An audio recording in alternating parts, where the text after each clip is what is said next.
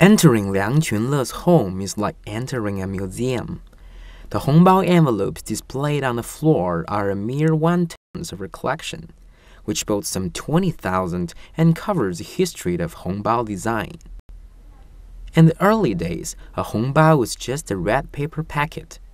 Later, traditional wishes for health and happiness began appearing on the envelopes, featuring auspicious patterns of animals, pine trees, and gods but as time goes by, the patterns and sizes have evolved.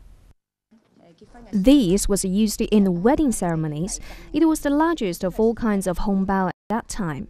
However, the present ones are much bigger than those in the past.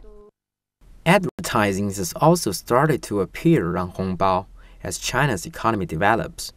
One of Liang's favorites was issued by the Development Bank of Singapore. Mm. They are very special. Every year there is only one set issued, a boy and a girl. This is the earliest, and the styles have changed over time. Liang's collection has become well known, and a private exhibition has attracted many visitors. In Chinese culture, the hongbao is a kind of bridge for relatives and neighbors, as blessings are passed from one to another. It always makes one happy to receive a hongbao, whether you care for the money or the hongbao itself.